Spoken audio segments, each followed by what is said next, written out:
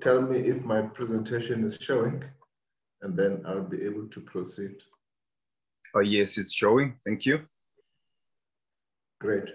So as uh, Dr. Mabula has indicated, the purpose of the presentation is about access to finance. So after this discussion, uh, colleagues, entrepreneurs, you should be able to say what is it that is needed uh, from a SEFA point of view if you want to, to access our funding. But remember now that SEFA is one of the development funding institutions, so it's not necessarily limited to SEFA. Some of the things that we'll talk about, you know, they cut across other uh, lending institutions, though the bias will be on SEFA as, as, as Dr. Mamabodha indicated, um, I'm, I'm, I'm a SEFA official. The, just explain the, the position of SEFA. SEFA, we are an implementing agency of the Department of Small Business Development. So if you check under the department, the department has got two implementing agencies, ourselves, SEFA, and our mandate is to provide development finance we have our sister agency being SEDA, Small Enterprise Development Agency. What they do at SEDA is provide business development support services. So in other words, we provide funding and our sister agency SEDA provide non-financial uh, support. So that is that is important to, to outline so that when you want to access our offering, you will know exactly what is it that, that we do. Let me start with this uh, to say, uh, I'm sure you might have seen some uh, this this uh, this caption before that says, if you're in business, don't sell the product, sell the problem you solve, not the product. And, and, and the reason for that is if you identify a problem in a community, in a society, and you develop a solution for that particular problem, and you can commercialize the solution, then you have a business. So in other words, what we're saying here is it's difficult if you have a product or a service that you want to push into your target market. You know, you'll be forever spending money advertising, trying to to to, to coerce people to buy things that you, you think they need. However, if you have identified a problem for your target market and you know that you've got a solution for that, like I said before, you can commercialize that uh, then you have a sustainable business. So I think then it, it's important to just think through this to say in the business that I'm, I'm involved in, what problem am I solving? The, the other thing that I would like to, to, to begin with is it's also important to, to, to, to, get a sweet spot. If you're an entrepreneur, one thing is that you, you must be passionate about the things that you do. So let's let's let's for a second focus on that to say passion, what does it really mean? It's you do what you love. So you're passionate about this. Whatever thing that you do, you know, you have to to, to, to ask yourself, is this my, my, my passion? Is this what I, uh, I came into this world to, to, to, to, to achieve? The, the other thing then is the talent you know, gauge your passion against your God-given talent. So it is what you love, uh, but are you good at it? You know, then, then you look at passion and talent. If you can then answer those two questions to say, I'm passionate about X and I'm talented to do that. The last but not least, it's a, it's a business model. Then you then say, uh, does it pay well? Have you developed a business model about your passion and talent. In other words, are, you, are people willing to pay you for the value that you provide to them? So where those three sectors meet, passion, talent, and a business model, that is your, your sweet spot. So when you develop a funding proposal, when you develop your business plan, as it were, it's, it's, it's crucial to, to, to ask yourself those three, three uh, uh, questions. As a SEFA, uh, our, our operating model is that we uh, have channels, what we call, we've got two distribution channels. That is how our money or the funding or the offering that we have gets to the market. We have got what we call direct lending channel And through direct lending, that is where small SMMEs and cooperatives can directly uh, apply for funding through a suite of our regional offices. And we've got what we call a wholesale model. A wholesale model is where we work with intermediaries that provide funding support to, to, to SMMEs and, and cooperatives. So if for a second we focus on direct lending, through direct lending, you can approach any of our regional offices, like I said, or approach any of the SEFA collocations. We've got collocations where we collocate with other institutions like SEDA, for instance. Uh, through that, you're able to go to those offices, apply for funding from a minimum of 50,000 to a maximum of 15 million. So our maximum is 15 million, we don't exceed that. And through direct lending, we don't go below uh, uh, 50,000. We provide a suite of debt instruments where we can provide funding for you to purchase an asset what we call asset finance. We also provide funding to some of our clients who will have secured contracts. So some of our clients will have secured contracts where we then provide funding for, the, for our clients to be able to fulfill those contracts. We also have revolving credit loans. This we normally use or provide to our existing clients so some of our clients, you find that you've got a contract within that particular contract, you've got a, a, a number of purchase orders. So rather than you applying for funding as and when you get a purchase order, we can provide a revolving credit finance and then you can draw down on uh, as and when you get a purchase order. We also have got term loans uh, and we also have what we call township and rural entrepreneurship programs, TREP.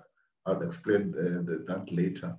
Uh, so that is those are the instruments, that funding instruments under direct lending. Under wholesale, we work, like I said, with a number of intermediaries. So these are institutions uh, that are out there that are providing some form of funding support to SMMEs. So we can partner with them and we can solution or provide in uh, tailored support or tailored funding instruments for those institutions to be able to, to service their particular market. We, uh, for instance, can provide credit guarantees. So this is where we share the risk with, with vendors. A typical example would be a commercial bank. Commercial banks can come to SEFA and say, we do have a balance sheet, we do have money to lend to small businesses. However, we need to share the risk with you guys at SEFA. So for that, we're able to provide them with uh, credit guarantees. We also have equity funds where we can invest with uh, other uh, investors in a fund. We get an independent fund manager to manage those funds. And we can also provide what we call structured finance solutions. So here we can structure anything as long as you come and say you are in the business of, of lending to small businesses and then you put your proposal or your, your business case and we can provide a solution for them. And we also have what we call other support services where we provide post-investment support. Post-investment support is to our existing clients where we can provide mentorship. Uh, we also do provide what we call workouts and restructuring. In other words, when we find businesses, uh, we can provide mentorship, that is one. But if businesses are struggling, we don't just call our dad and close businesses. We try as much as we can to, uh, to, to relieve or to support those businesses through our workout and restructuring uh, uh, interventions. And we do have properties, uh, not a big portfolio, but we do have properties where we provide retail space or industrial space in, in the various provinces. Now, the, the discussion today will center around direct lending because, yeah, you guys are entrepreneurs will be interested to say how do I access SEFA direct lending instruments. Like I said, if I go back under direct lending, we provide funding 50,000 minimum and 15 million being the maximum. So if you look in terms of direct lending instrument, I did cover this before where I said you want to purchase an asset, uh, it can be machinery, it can be equipment, it can be any asset that can be identified by way of a serial number. Then we're able to say, come to SEFA, we're able to, to, to help you with that. What is crucial and what is good about this is that we take that particular asset as our first form of security. So if you say you want to purchase a, machinery or a vehicle or a truck, whatever the case is, we'll be able to assist and then take that as our first uh, security. The, the repayment period, normally it will be 60 months uh, for asset finance to, we can also stretch it to about 72 months depending on your cash flows and depending on how you, you, you, you, affordability of the loan. But normally we, we're looking at 60 months. So that's asset finance. We've got term loans. Term loans very similar to asset finance in a way, but here we talk about other movable assets, you know, which may not be assets where you can identify them by way of serial numbers, like I said before. For instance, you're talking about office furniture, features and fittings, uh, or some of the working capital. Here we're talking a repayment period of between 12 months to, to 60 months. Uh, you can do that through a term loan funding instrument. Bridging loan, this instrument we use for clients that have secured contracts. So you have secured a contract, you have secured a market, but you need capital to be able to uh, uh, service that particular contract. And then here we can provide bridging loan facilities. It's an easier thing to do in a sense because here you already have a market. You know, we just have to make sure that uh, you've got a cap capacity to deliver on that particular contract, and then we're able to, to finance uh, you through this instrument. Revolving credit, uh, like I indicated, this we normally use to support our existing clients. You've got clients that have got contracts with multiple purchase orders. So rather than apply each and every time when you want to uh, uh, uh service a particular purchase order, then we can provide a revolving credit facility. So those are the instruments that we do have under, under direct lending. Um, now, this looks like a business line, but as we said, that the, the title of the talk this morning is about what is it that you need to do when you want to apply for funding. So these are the documents. You can see now it's a, it's a grocery list type of documents uh, I won't go through each and every one of those uh, of these documents because the presentation will be shared. But the reason for showing this is uh, it, it is very crucial when you apply to make sure that you submit each and every document if it's applicable to your particular business or application. Uh, because some of our clients or applicants you find that you look at a list like this and then you submit probably half of this and not submit the other, that will affect the, the progress and the turnaround time in your application. So it's very much important to, for instance, when you look at the application form, complete each and every section that is there uh, because it gives our, our deal makers, our investment officers, enough information to do what we call due diligence on your application. Remember, SEFA as a development funding institution, you are unlike a commercial bank where we will have your, your, your, your history in terms of how you transact. You know, if you bank with a particular bank, you probably have a savings account or a check account with that particular bank. So as and when you transact on a, on a regular, on a daily basis, whatever the frequency, a particular bank can be able to, to, to, to track how you you, you, you conduct your account. So we don't have that as a SEFA. Then when you apply, it will be for the first time that we get to know about you and your business. So it's very much important to give us as much information as possible such that we're able to take responsible lending uh, decisions. So like I said before, I won't go through each and every one of these, but as you can see, so all of them are very, very important for us to take a decision when you approach us and apply for funding. Where, what is crucial again is where things are not applicable in your case, you know, you don't have to worry about. It. Example, if you are starting a new business, uh, it's a startup business, we won't ask for financial statements because it is a startup business. So you have to apply your mind to say, is this particular requirement applicable to my business? If yes, then give us the information. If no, then you don't have to worry about that. Uh, this is the continuation in terms of the documents that we require, but this one talks to the different funding instruments that I, I, I spoke about earlier on. So for term loan and asset finance, you need to give us a business plan, cash flow projections, lease agreement if uh, you are a tenant in, in, in, in a particular building or property. Franchise agreement, if applicable. The bridging loans, where we did indicate that these are for clients that have secured contracts, you need to give us a project plan and projections. How are you intending to execute on that particular contract? The copy of the contract. Uh, in terms of construction in, uh, or any project that you have done, you need to give us completion certificates. Uh, like you, you, see the last three bullets under bridging loan applications, talks about the NHBRC and CIDB. This is for construction, bill of quantities for construction. So if you are in a construction business, uh, you have secured a contract. These are some of the things that you need, you need to, to, to submit. Eligibility criteria, who's eligible to apply for SEFA funding? Uh, that is the list. So what it really means is you have to go through that and be able to, to assess yourself to say, am I eligible to apply for SEFA funding? If yes, then you go ahead and apply. Remember, SEFA as a DFI has been, has been given a mandate and we've been given a particular uh, problem to solve, as it were, to say that SEFA is here to address issues around market failure. SEFA as a development funding institution, we actually play in a space where other private conventional lenders uh, cannot and should not be playing. So we have carved our criteria to make sure that we support a particular uh, uh, target market, so to speak. For instance, if you look at that in terms of eligibility, we say that you, for you to apply, you must be a South African citizen or have a permanent residence. And the business must be registered.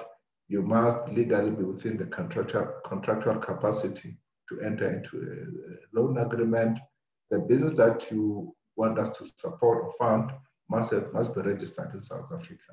Uh, it doesn't mean that you cannot export. Remember, exporting the market that happens to be sitting outside the republic, but your, your business must be within, within uh, South Africa.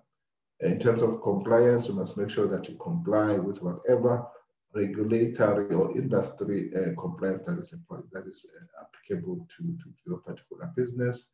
Uh, so the list goes on like that. So it's important, again, like I said, check yourself in terms of eligibility before you, you could apply.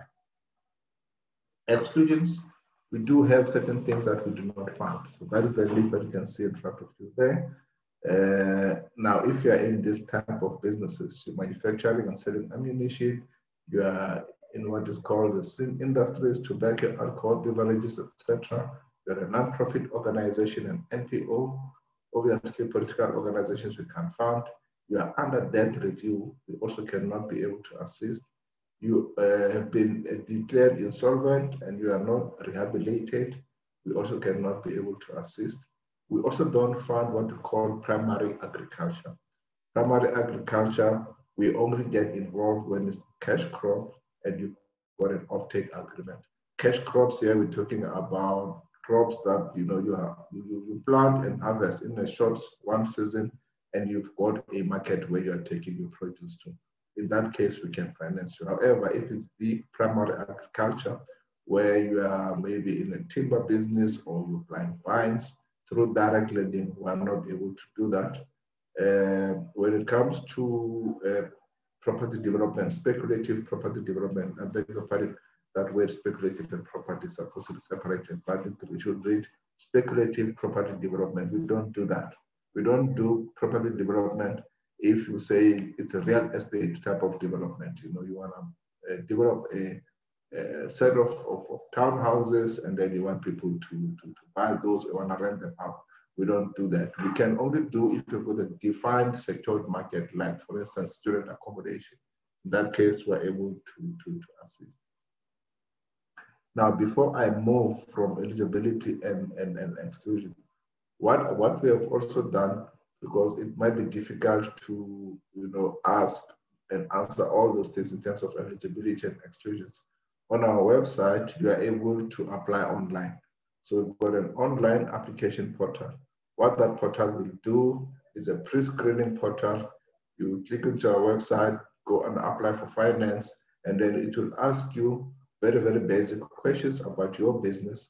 if you are eligible to apply for SEFA funding, in other words, you're ticking boxes in terms of this slide, and also you are not in these exclusions and amongst other things.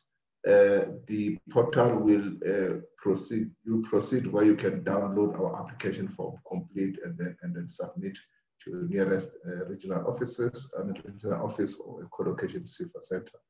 If you are not eligible to apply or, or to, to, to be assisted by SEFA, the portal is developed in such a way that it's got other lenders in the country that can assist. So it will give you a list of other potential lenders that can assist you. So it it's helpful to use that platform or that portal because it will never leave you frustrated. It's not a question of saying that we will say we, we cannot assist you and then we leave you in a ledge.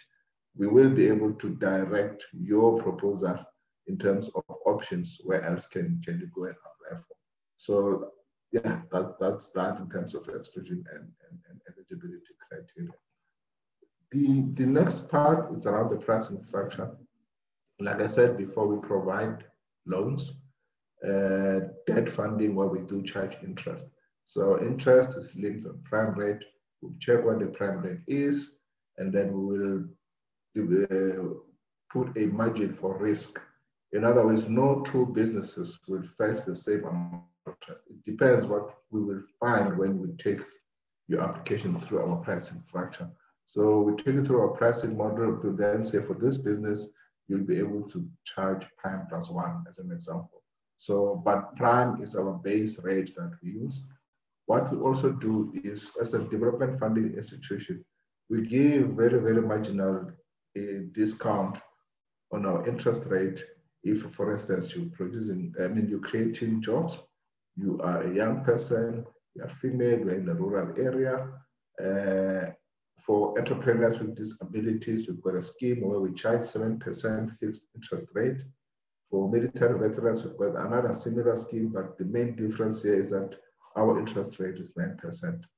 We charge an initiation fee based on the capital or on the loan amount that you're applying for and the initiation fee will range from 1% to 5%, again, depending on the duration of, of, of, your loan. The longer the duration, the lower the, the, the, initiation fee because you will be paying more interest to SEFA. The shorter the duration, maybe it's just a three month contract, you're not paying a lot of interest, and then in that case, your initiation fee will be a little bit higher because as an institution, we, uh, we will need to charge interest to sustain the work that we do and be able to help other, other entrepreneurs. So that is the pricing structure.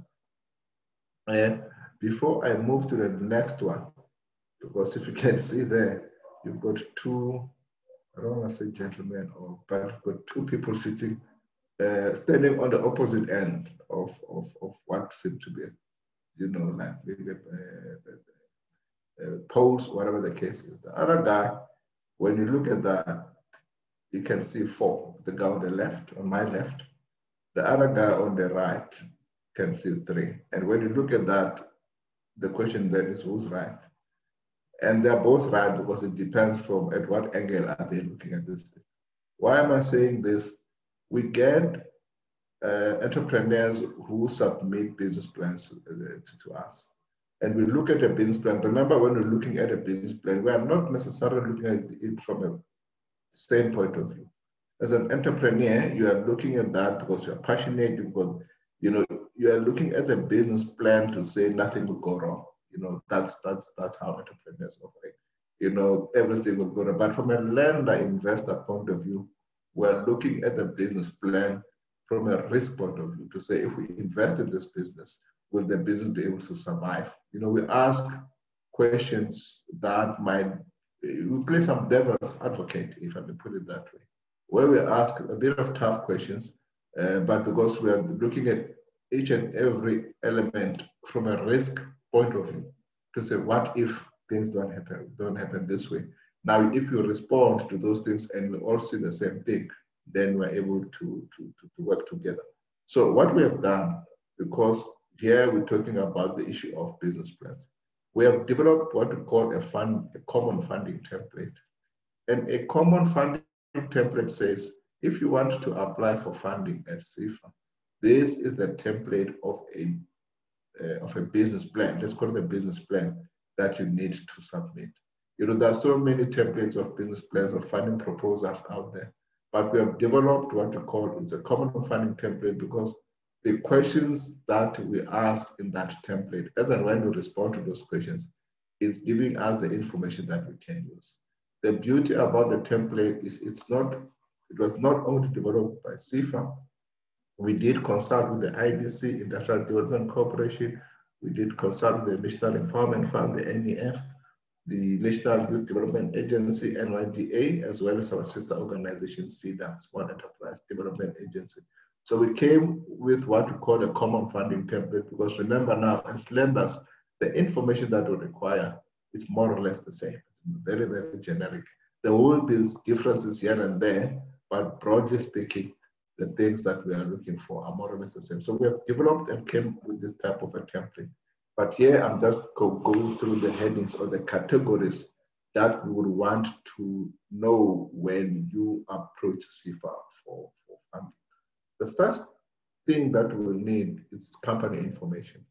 So you need to tell us about your company, you know, because obviously we don't know the company, but then you need to tell us uh, uh, what is it that you do, uh, the next part is the shareholder information or directors information.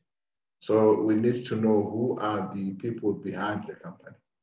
Um, the third element will be the company structure. You know, you need to show us the organigram. Why is that important? We just have to get an understanding how are you, are you managing this company. The business operations, uh, tell us exactly the operations. If it's a manufacturing company, we have to go deep in terms of the manufacturer, I mean, uh, the operations. It's a retail company, you need to tell us about that.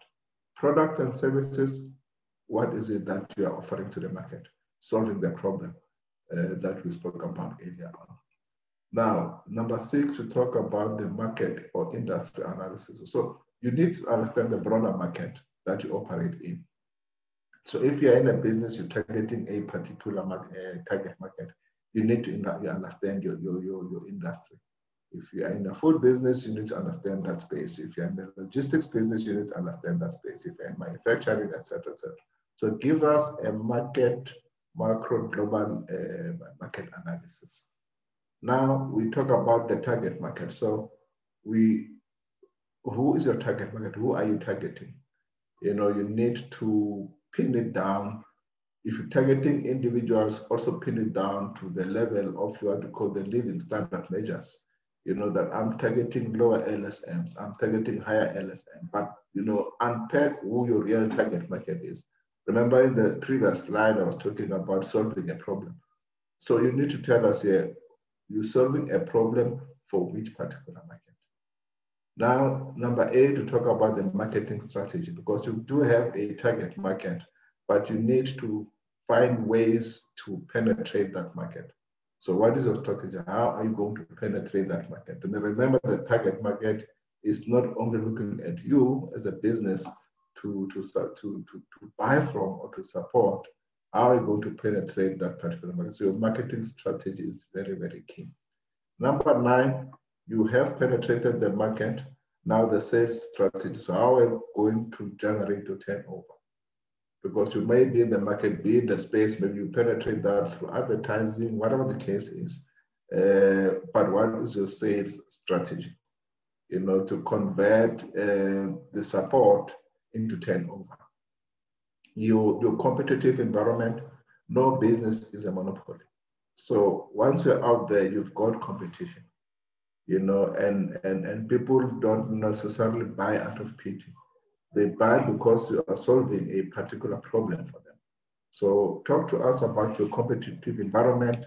You, you should be able to tell us that you understand your competitive environment and what is your competitive edge?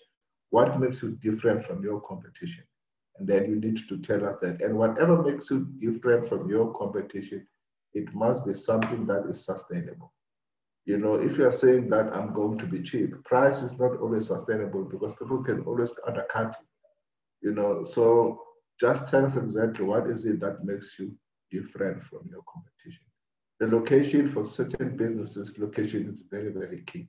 That is why they're saying, you know, in some, in some, in some instances, the most important thing in business is location, location, and location. So uh, if location is key to you, you have to tell us that, and then we will analyze that. Does it help you in terms of your proximity to your clients, proximity to your suppliers, etc., etc. Your external environment, that's your political, economic, social, and technology. Uh, that's supposed to be personal, including the, uh, your, your, your environmental and the legal environment. So understand the whole personal environment. So how does it impact your business? Some of the businesses are not necessarily impacted, or some areas will impact you more than others. You know, so just uh, uh, look, understand your your personal environment, and then tell us how does it how does it affect you. If I take an example of technology, I mean, we are living in a new normal type of an environment where most of the things are driven through technology.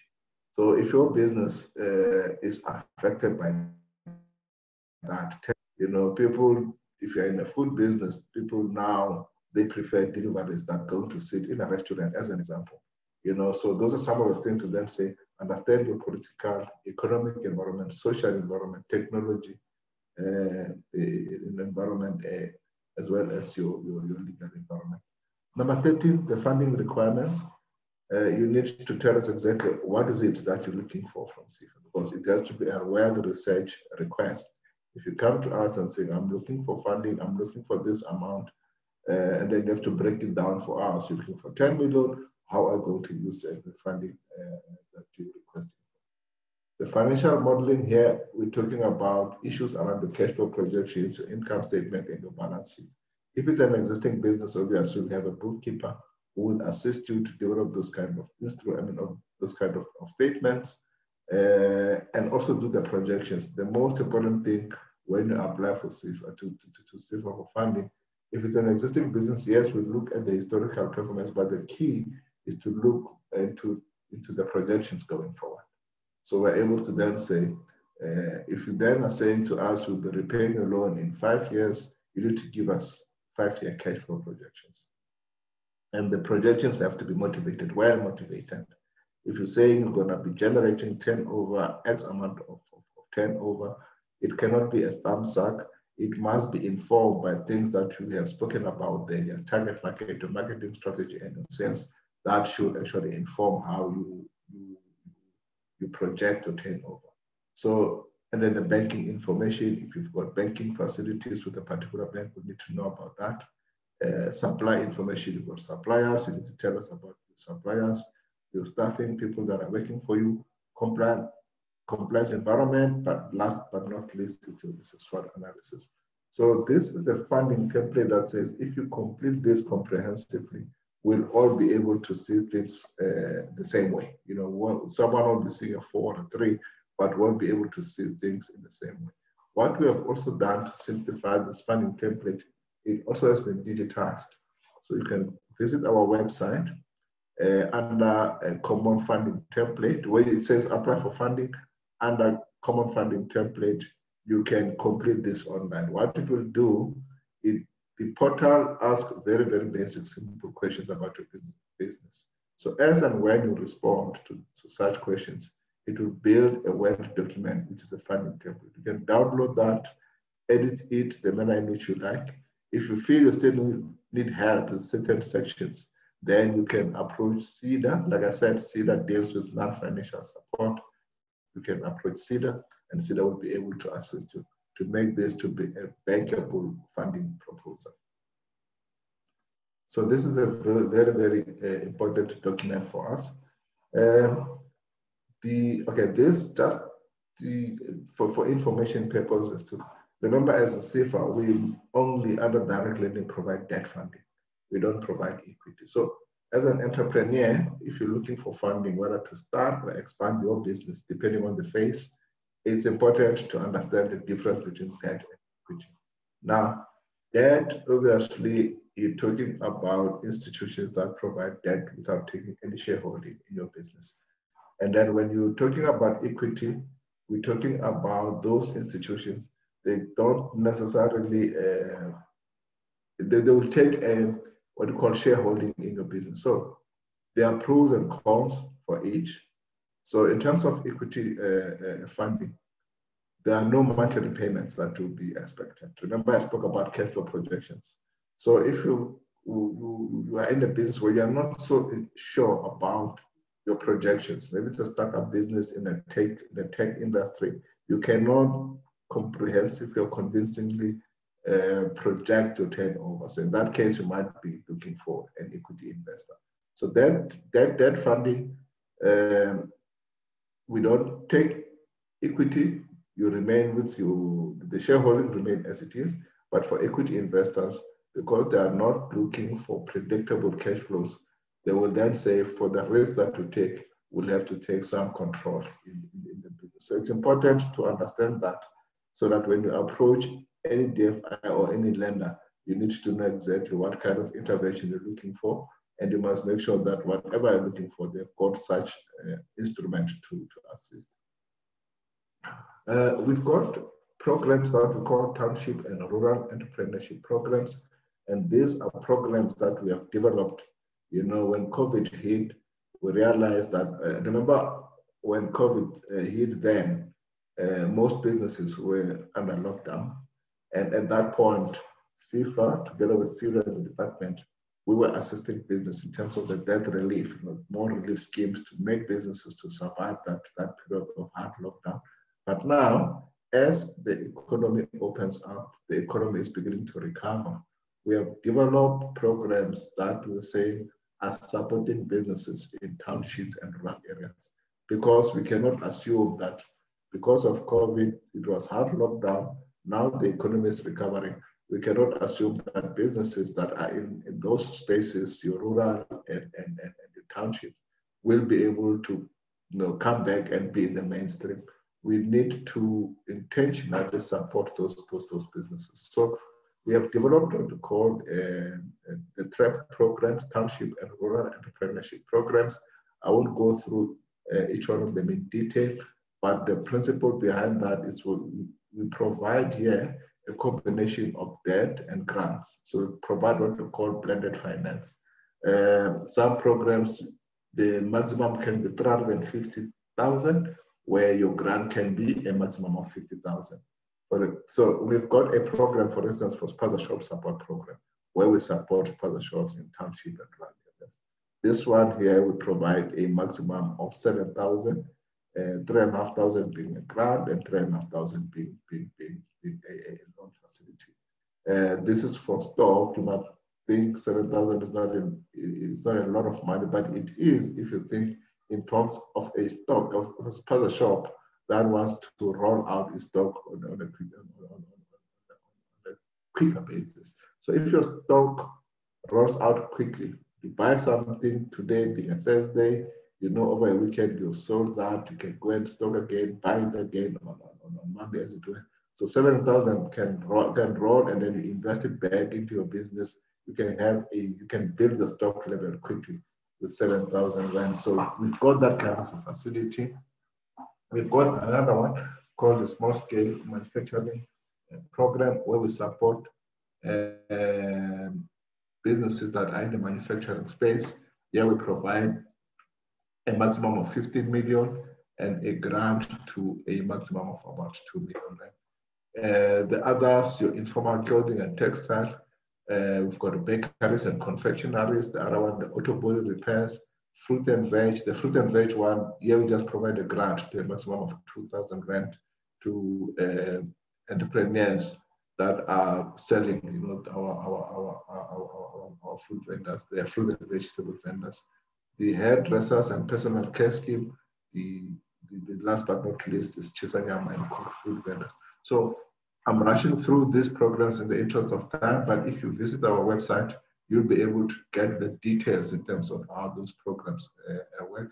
The target, like I said, is township businesses and businesses in, in, in, in, in rural areas that's that's our footprint. Uh, we have got our head, our head office in, in, in Centurion. We've got offices in, in each province. We've got an office, uh, one office per province in the main, except in Gauteng, where we've got two regional offices.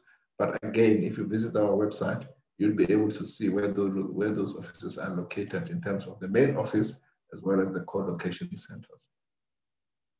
Our contact details, our website, that is the one there.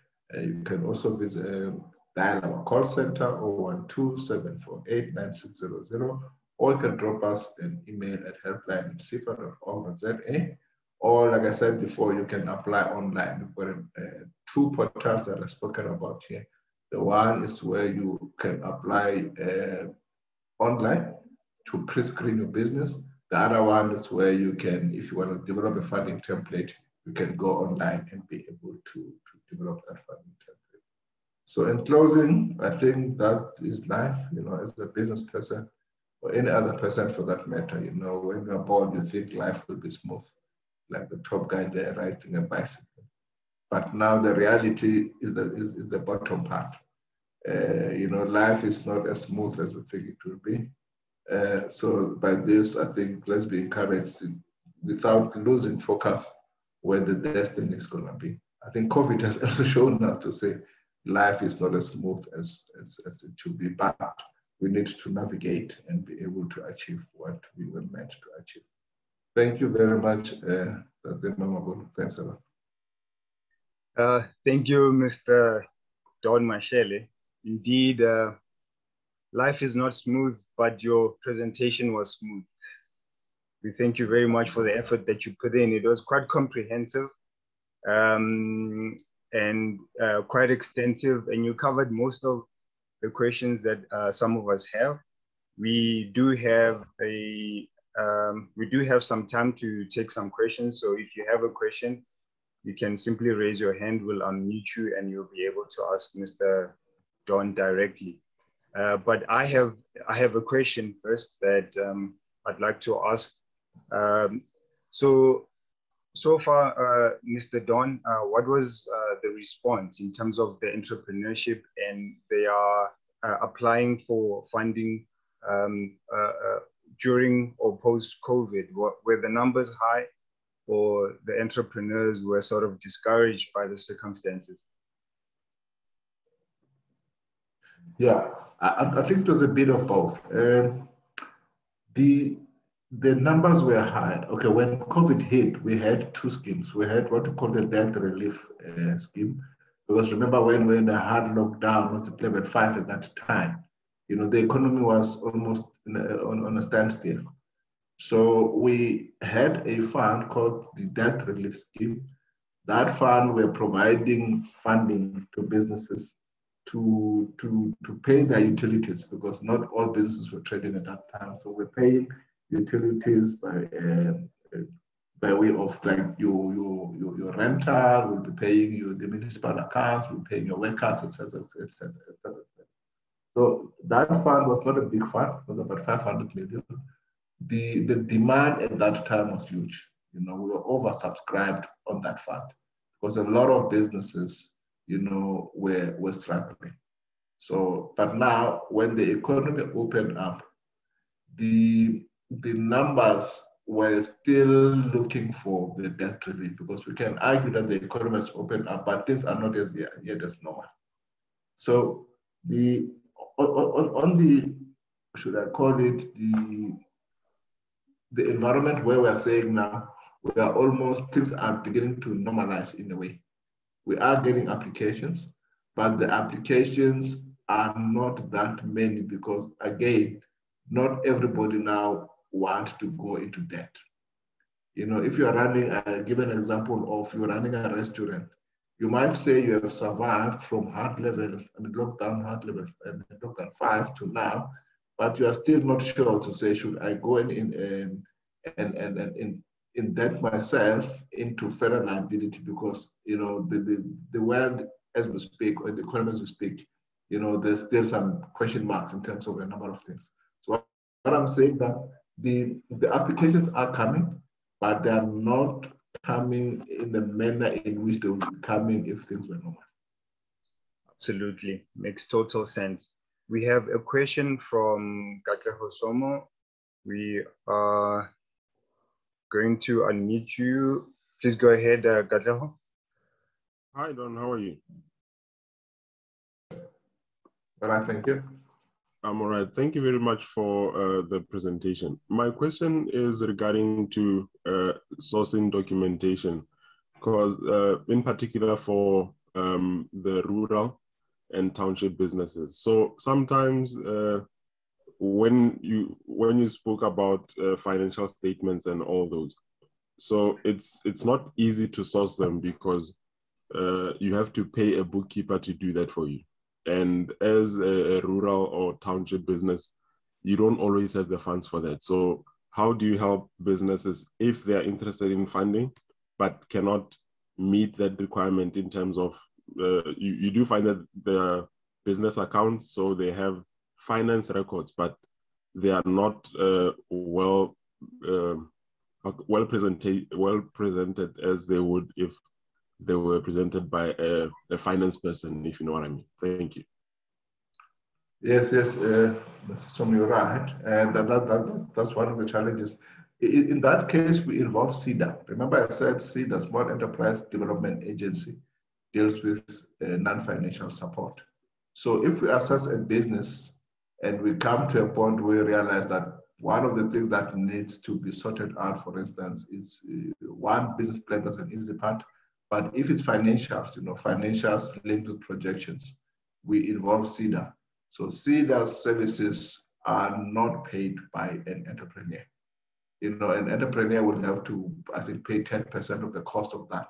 But in that particular instance, to answer your question directly, is that we then link those entrepreneurs with our sister organization, SEDA, and then SEDA will do what they have to do. And then if the problem is solved, and then the businesses will be referred back to us. No, fantastic. We see the thumbs up from uh, Mr. Somo. Thank you for the question that you raised. Um, we we have about two minutes to go uh, before our next speaker comes on. There's there's another question that I'd like to ask you, uh, Mr. Don. This relates to uh, SEDA and, and SEFA. Um, what, what, is the relation between the two departments? Because they all set up to help entrepreneurs. If you can just clarify um, uh, that for us uh, uh, uh, briefly. I know the, the answer can potentially be extensive, but if you can just uh, shorten it for us, no, no, no pressure. Yeah, sure, sure. You're right. Uh, SEDA, I think it was my second or third slide. see the Small Enterprise Development Agency, they deal with non-financial support. So any intervention that is non-financial, you are not looking for a loan. You know, you're looking for assistance, maybe to help with marketing, uh, to develop a website for you, or to anything non-financial. SEDA will be able to assist you.